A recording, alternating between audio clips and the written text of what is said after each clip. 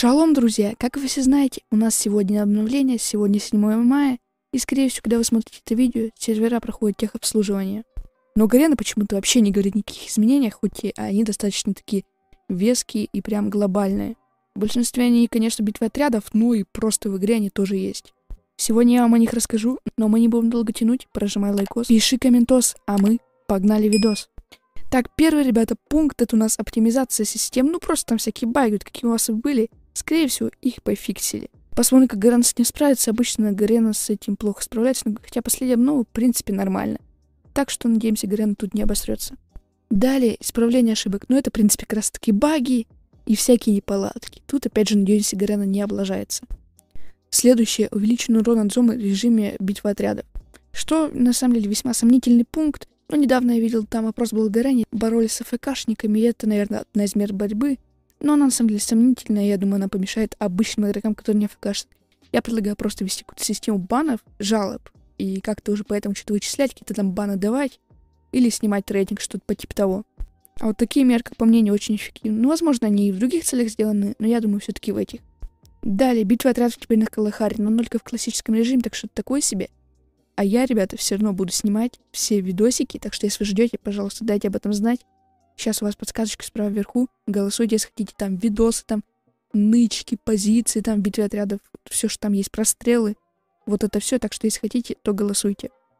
Но так, в принципе, это круто, Гарена развивается, битва отрядов развивает. Я думаю, на самом деле, следующий чемпионат будет про битву отрядов, потому что Гарен так, я думаю, нехило в него вкладывается.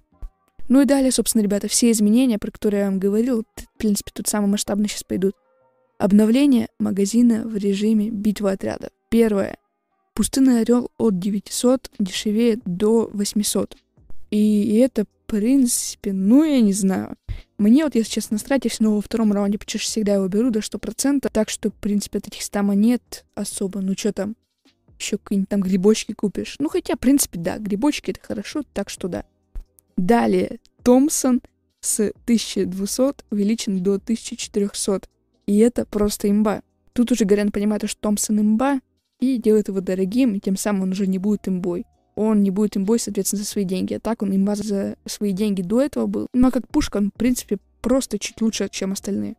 А тут его прям приравняют, а возможно даже зароют ниже других, и тем самым откроется у нас роль для следующих пушек, который у нас прям идет следующая, это МП5.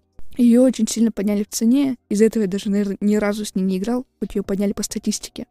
Гарен стопудово это тоже понимает, так что она сделала дешевле на 100 монет опять же, и теперь она стоит 1300. Далее изменения, от которого просто офигел. Ну, тут я, конечно, не на, не на 100, все 100% уверен, но все же, короче, смотрите. АК дешевеет до 1700 монет. Я не знаю, сколько она стоит сейчас, но либо 1900, либо 2000. И сейчас коллаж будет прямо, ребята, имбой.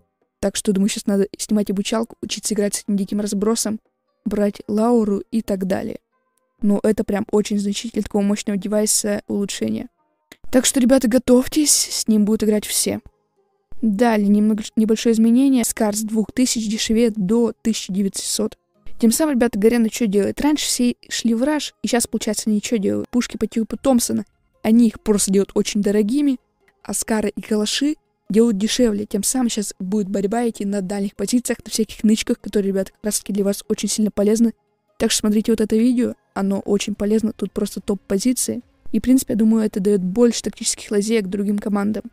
Далее просто значительное изменение, от которого я, честно, в шок. Стенка с 200 монет дорожает до 300. Это просто капец. На 150% или сколько это получается.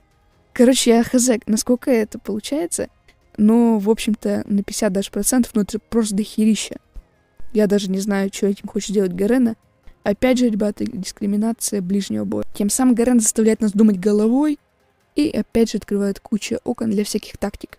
Но не знаю, для меня это очень-очень спорное изменение. Пишите свое мнение обязательно в комментариях.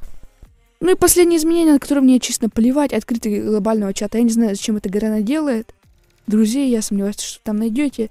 Он, скорее всего, добавит лагов, может, каких-то мошенников даже. Мне вот реально интересно, что будет с этим.